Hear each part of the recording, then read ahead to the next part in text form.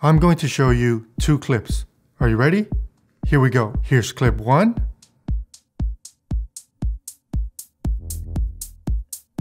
And now, here's clip two.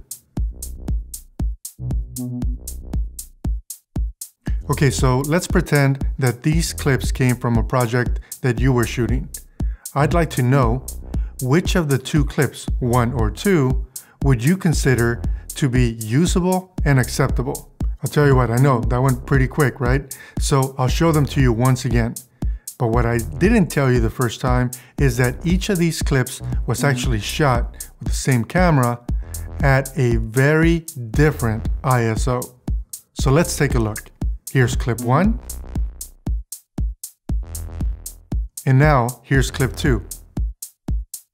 All right, so I'm gonna put a card up above so that you could give me your answer. Hello, and thank you for joining me today. I'm Carlos Quintero from MediaOnQ. If you're visiting my channel, thanks for stopping by. Please consider subscribing so that you can watch all the videos in this series.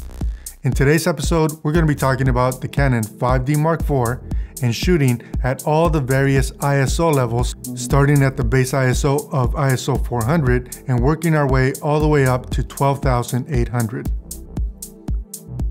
Okay, so let's get started. Let me tell you a little bit about the scene. So we're in my studio. Tate is my talent.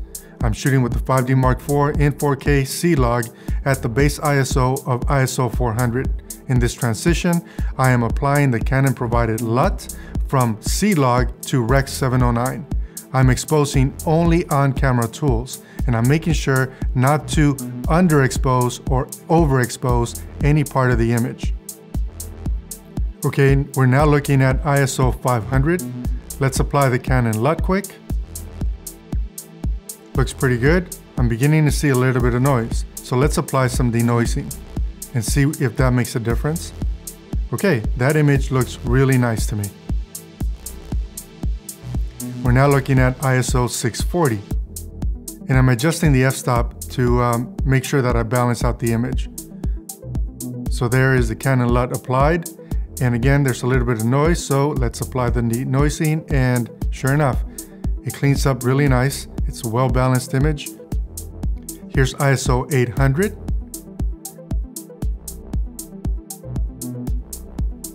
and there's the Canon LUT applied. So again, the noise begins to show up or creep in, but we apply denoising and it's completely gone, making the image totally usable. Now ISO 1000. So this looks like a pretty nice image, but when we apply the LUT, we begin to see again the noise starting to creep in. So let's apply some denoising and see what that looks like. And sure enough, it cleans up Really nice, really usable at ISO 1000. ISO 1250, and once again, really nice balanced image, looks nice to me. We apply the LUT. I begin to see again a little bit of noise creeping in. We apply the denoising and presto. Pretty good.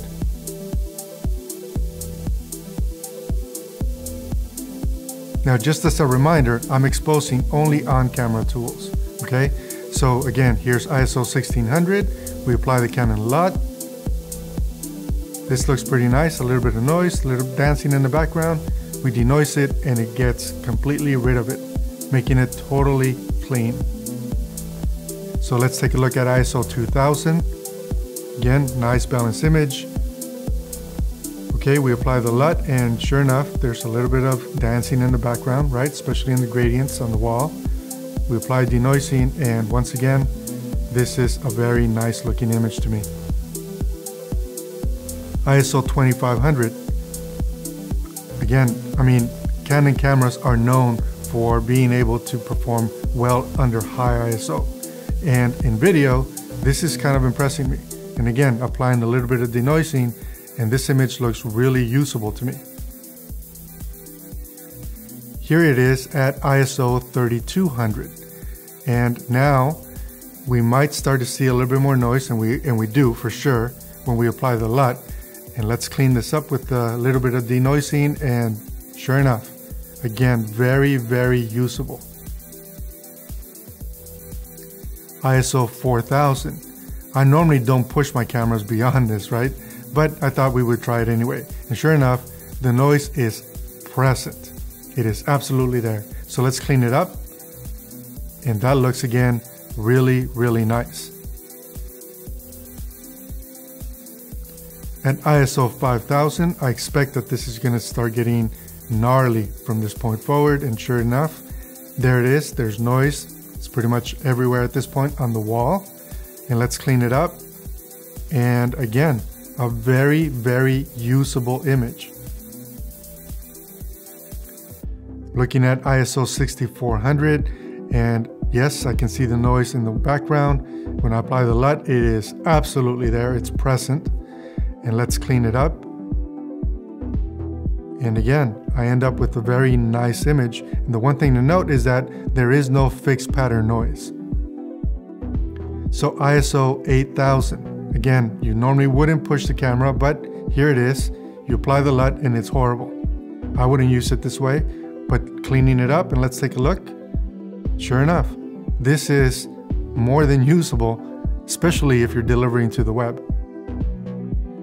So here we are at ISO 10,000. So in log, it's hard to see the noise, apply the LUT, and it looks gnarly. Let's clean it up. And once again, this is getting more and more impressive as we go on, right? Because this image looks really nice. So ISO 12800. I expect this is gonna fall apart when we apply the LUT, and of course it does. This is horrible. I will not use this. But let's clean it up and see what this looks like. And there you have it.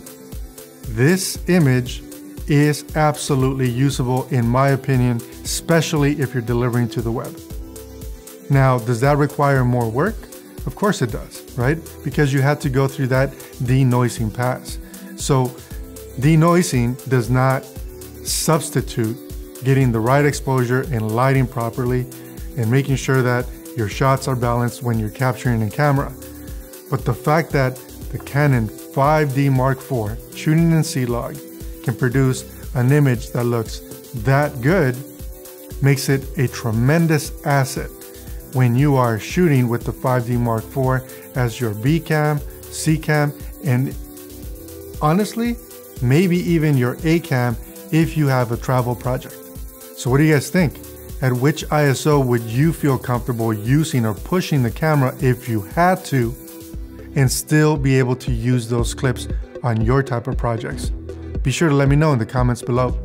Now let's go back to the two clips that I showed you at the beginning of the video. The first clip was shot at ISO 400. The second clip was shot at ISO 12800. Now, which clip did you pick as usable for your types of projects.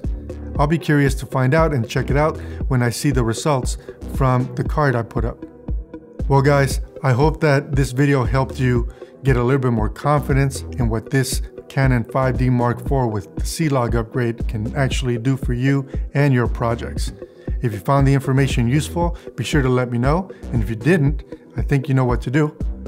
I'd like to invite you to subscribe in case you haven't already, so that you can watch the rest of the videos in this series.